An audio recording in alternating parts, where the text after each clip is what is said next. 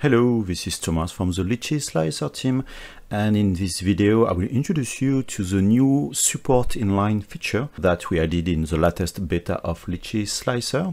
This feature is available for pro and premium subscription users and you can find it in the prepare workspace and of course in the support tool. On the right panel, you will find just at the end below the support painting feature, a new inline support sections.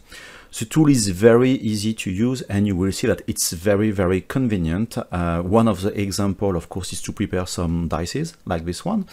Just to create your inline support, you need to have, let's say, a starting support, an ending support, like that. You have two support. You can do a multi-selection and then you have there a button generate from selection and by clicking on this button it will use the interval value right now of 3 millimeters to create supports in between these two selected supports at an even distance, which is roughly 3 millimeters. We put 3, but it will, it will do its best to have a very even distribution. It means that perhaps the distance will be 3.1 or 2.9 millimeters, and it's approximately 3 millimeters.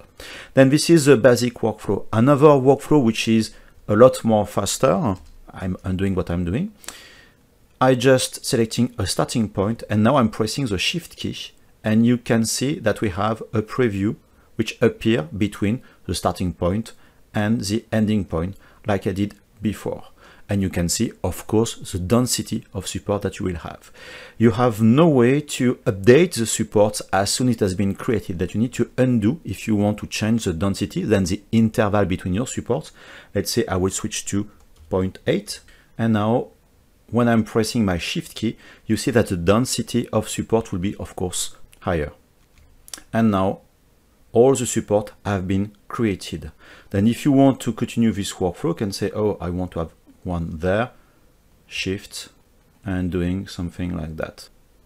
And you see that in a very short amount of time, or you can start from this one, ending there, all your supports have been created that way. Very easy and very convenient. Another useful way of using the inline support tool is to work with a multi-selection of support. I have a starting one, I put another one there, there, and there. Then I would like to have an infill, I would say, of supports between these four supports. What I would do, I, I select this one first, then this one, this one, and this one.